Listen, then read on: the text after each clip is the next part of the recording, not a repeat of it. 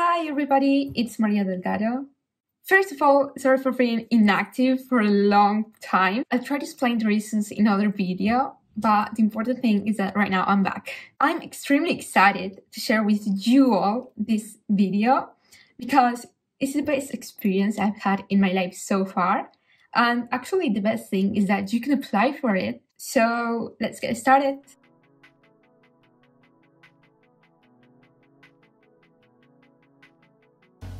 As you know, I'm a World Science Scholar. As stated in the World Science Festival page, which is the foundation of this opportunity, this program selects a small group of international students with extraordinary mathematical talent and provides them with an unparalleled opportunity to apply their abilities in unexplored disciplines. In my case, I got selected as a World Science Scholar in the cohort of 2021. I still remember the day when I received that email where WSF told me that I had been selected to be part of this cohort. As I remember, it was in my 10th grade graduation day, so it was so cool, it couldn't be better. Along the year, we've been taking incredible courses, ranging from astrophysics, biology, computational universe. They are not the average courses you find online. They are really, really powerful. The professors are incredible, and the way they teach their subjects gives new perspective and awaken us to new hidden passions. We, scholars, have had the opportunity to interact and collaborate in projects together, as well as interact in the live sessions with our professors and the WSF team. Okay, this was a general idea of what is WSF, but the important thing in this video is that WSF invited us to attend the first ever World Science Scholar Festival in New York. To be honest, I still can't believe that I've been there with this group of passionate students and the amazing team of WSF, WSS and WSU. Okay, so how did it all start? 12 June, I received an email from our program coordinator. It started like I mean, when you read this, your face is something that cannot be described, so was mine. the point here is that I couldn't attend the end of the year event, so this information was completely new to me. Our scholar stat became quite crazy in terms of believing it or not. It sounded like a really big, big effort if they were really doing this.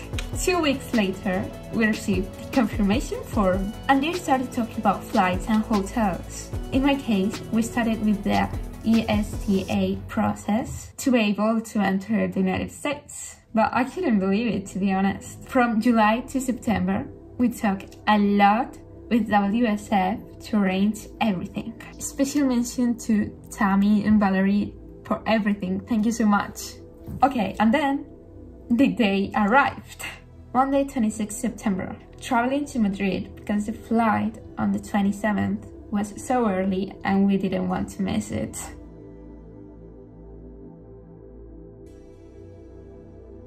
We really enjoyed the 8 hours we stayed in that beautiful plane.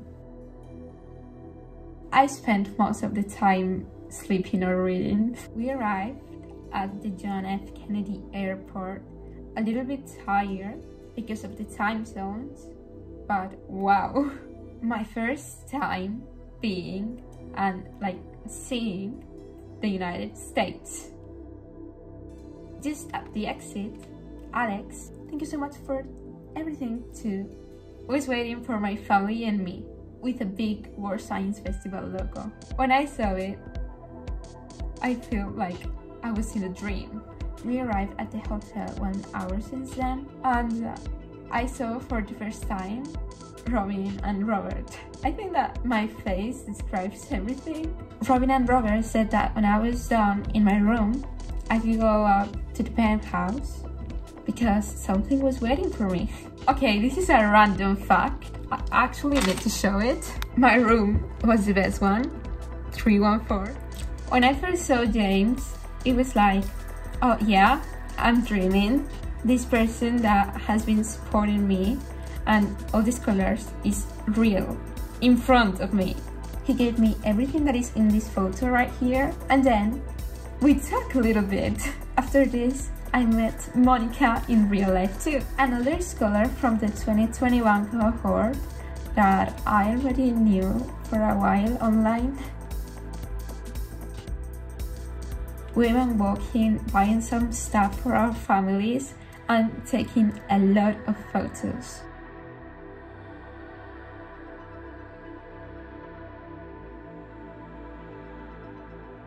When we came back to the penthouse, other scholars had arrived too, so we spent a lot of time there.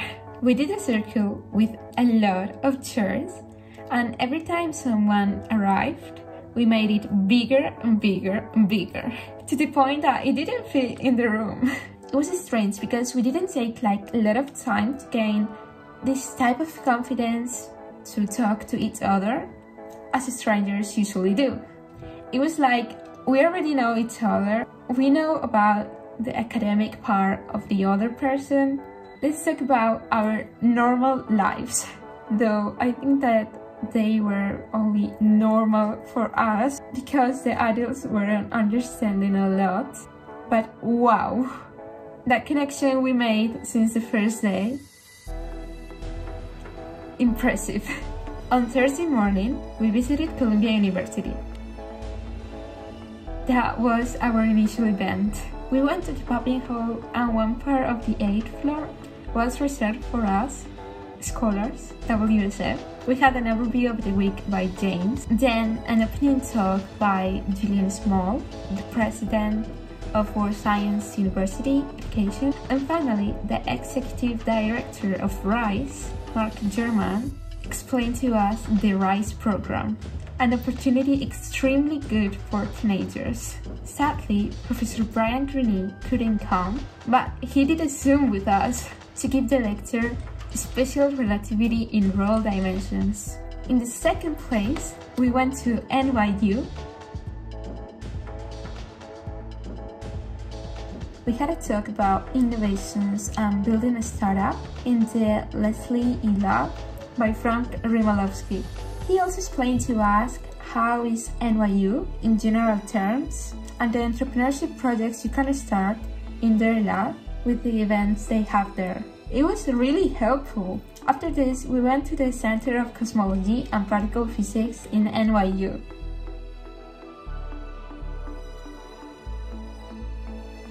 I'm going to try to summarize it, but like literally I could do a whole video just talking about this. Basically, we went to the quantum part of the building. We visited two labs, one for quantum materials and the other one of quantum computers. And yes, we saw quantum computers in real life. PhD students guided us through the content. It was really impressive how all the concepts we already know about quantum computing are applied in real labs. Lab Shabani was the name of the group of researchers who were guiding us through all of this. We also got a mini lecture about their work and what they are currently doing, plus a demonstration of quantum experiments and non-quantum experiments. The funny part comes here. PhD physics students shouldn't try to be cooks. Let me explain to you why. So after all of this, they started making ice cream for us. But not a normal one. One with liquid nitrogen. The cooks didn't even know the recipe. And we're seeing instructions on their phones all the time. It was extremely funny. They didn't even care about measurements. Let the ice cream be an experiment without sense. The chocolate wasn't mixing with the cream and the milk.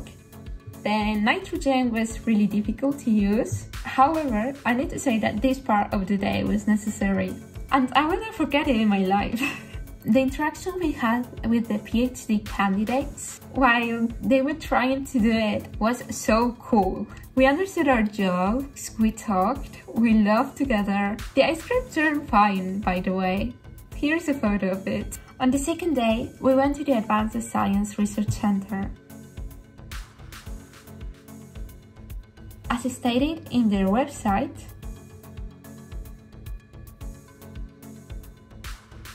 The buildings were beautiful. When we entered, we received this It's like a folder with some papers in it that I will show later and went to the enormous auditorium they have inside the building. Kendra Kruger started the day with her talk, A New Era of Scientific Inquiry at CUNY. Professor Rein V. Ulijn, the director of the Nanoscience Initiative, gave the lecture Hacking Biology for Nanotechnology, providing us with a completely new idea for the future. Professor Mandë Holford, with her lecture Venom, Kill or Cure, gave us a new perspective of the animals and medicine. Finally, Professor Andrea Alù, the director of the Photonics Initiative, exploded our minds in a good way with his lecture From Cloaks to One-Way Mirrors, Tricking Light with Metamaterials. I would like to remark that I wasn't interested in photonics at all, but after meeting Andrea Alù, I've completely changed my thoughts. It is so interesting and a very, very powerful field. Then we had some group activities, visiting labs and doing some experiments. In the afternoon, we went to the Intrepid Museum. I cannot talk about this at all because I had some problems and I couldn't be there. But as far as I know, my peers had the opportunity to learn about sea, space, and air through history and exhibitions. Then, the third day. Wow! We visited the campus of Columbia University thanks to the tour they gave to us. We learned about the ways of enrolling, applying, and important information to consider while looking at universities in general. I need to say that I will live on a campus like that my whole life. I'm very excited to go to university when I finish school next two years. After this, three students from different backgrounds, plus James, did a very helpful Q&A session and talked about the college experience, advice, tips, we went once again to the 8th floor of the Pupin Hall and met in real life Professor Kumrum Baffa, Professor Barbara Natterson Horowitz, and Professor Stephen Wolfram. They gave us their own lectures Extreme Theory, Human Exceptionalism, and Wolfram's Life, and a little bit of Wolfram language. After this, we had a reception with them. They gifted us their books and signed them for us. I think I can show you the books. So the first one is from Professor Kumkum Baffa. The second one, you can guess it. And the third one is from Stephen Wolfram, Professor Stephen Wolfram. Thank you so much. Are amazing. It was awesome to talk with incredible people in science, role models. We enjoyed the lectures a lot. Zoom was so cool as well, but in real life, there's more human interaction, human feelings and emotions. I don't know how to explain it to be honest, I hope you all understand this. In tonight, we went to the Rockefeller Center, top of the rock. One more time, I don't have words to describe it.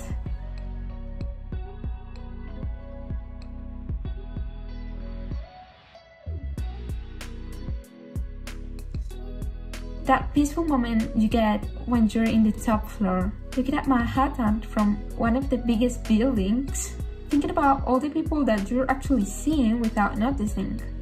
The strong wind that hits you to remind you that you're not dreaming, that this is real, and everything with the company of WSF team and scholars. Sunday, was a sad day. It was a day we went back to our countries, in other words, to reality. In the morning, we visited the American Museum of Natural History. It was so cool, but it was sad. People were living in a tower. Strangers in real life who became your best friends on the first day were actually living. Each time we were less and less and less and less. And then my turn came. I was the one leaving. It was extremely sad. but I think that I didn't show it on the outside because I found it really difficult to express my emotions. And here I am, missing my friends a lot. My first friends, the people who understand me, the people that I understand. Our connections cannot be described, but now I know that I'm not as crazy as the rest of the world thinks. I am normal, but in my way.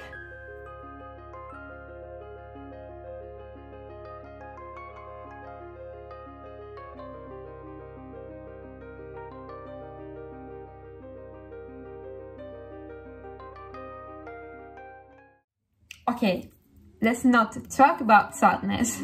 James, Robin, Robert, Danny, Aaron, Gillian, all the team of WSF, WSS program, John Templeton Foundation, Schmidt Futures, Simons Foundation, everyone in general.